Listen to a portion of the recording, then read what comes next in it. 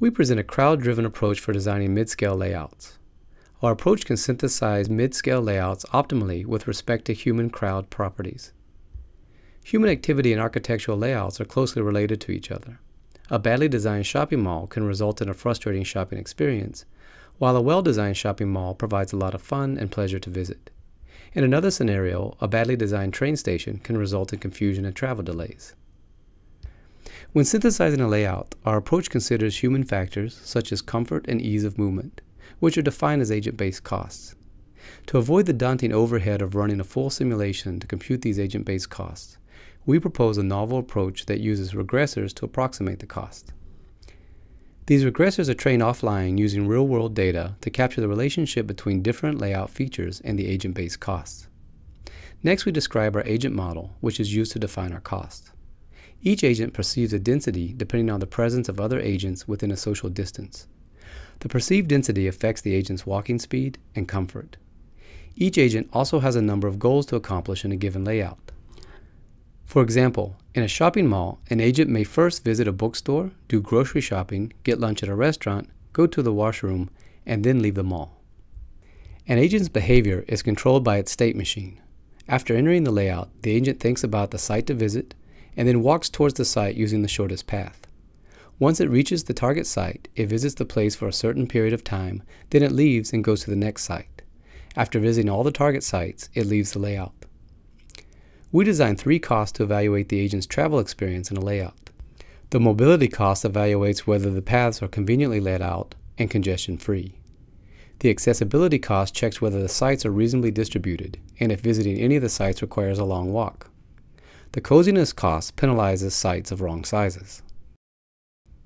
As evaluating the agent-based cost by full simulation would take too long to optimize a layout, we use an approximation approach instead.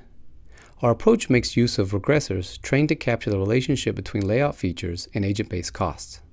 Our approximation approach achieves similar performance as a full simulation would.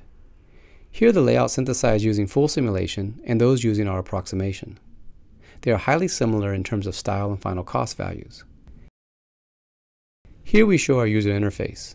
The user can easily set the agent properties and optimization parameters.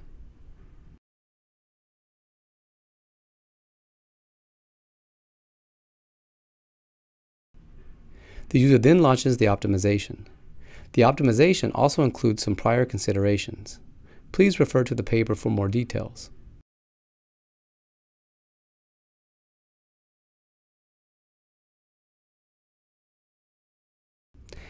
After the optimization is done, the lower window shows the graph representing the path network and visualizes the different agent-based costs using heat maps.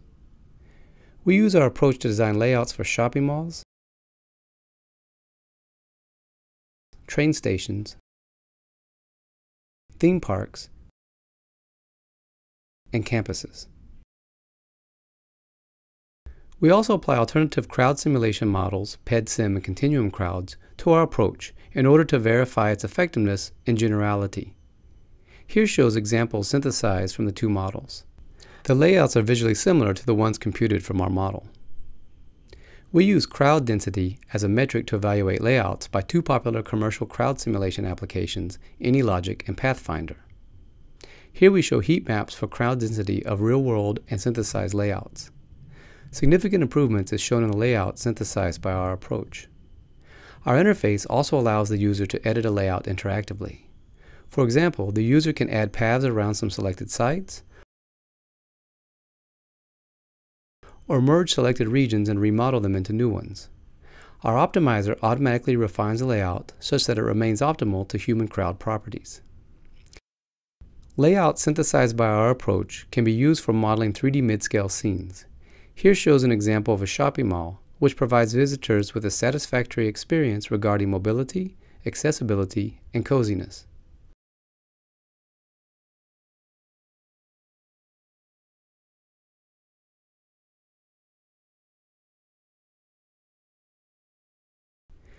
We have presented a crowd-driven approach for layout design.